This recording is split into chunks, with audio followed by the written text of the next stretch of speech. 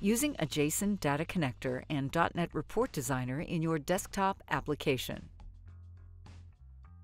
Easily and quickly design reports with FlexReport Designer, a standalone desktop app available in ComponentOne, WinForms, WPF, ASP.NET MVC, and UWP editions. In this video, we will show how you can connect to and quickly design a report from JSON data. Launch the designer and click New Report Report Wizard from the Reports tab. This will walk you through the basic report setup.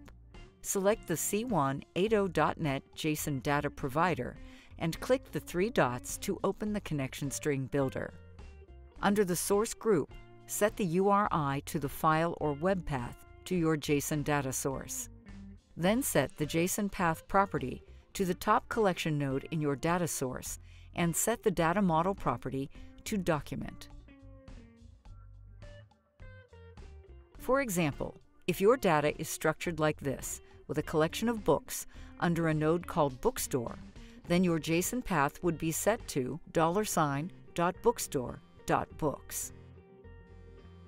On the Data Source tab, expand the Tables node and select your JSON collection and click Next.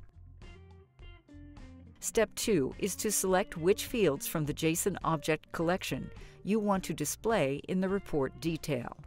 At this point, you can also determine how to group the data by dragging a field to the Groups section. In steps 3 and 4, select a layout and design style for the report. This can be modified later. Finally, in step 5, you can give a name to your report and then preview or jump right to the designer to make further changes. Here, you can see the JSON report. You may want to change the field placement or add more fields, which you can do in the FlexReport Designer. Check out our documentation and other videos to see how to change other aspects of the report.